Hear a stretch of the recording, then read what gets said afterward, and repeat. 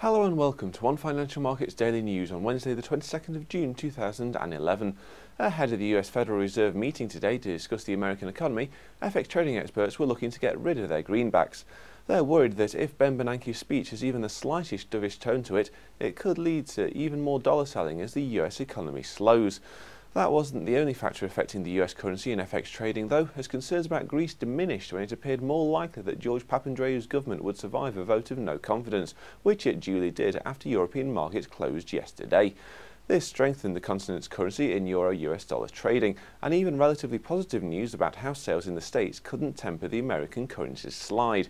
As of 0700 GMT this morning, $1 buys 0.6946 euros in FX trading.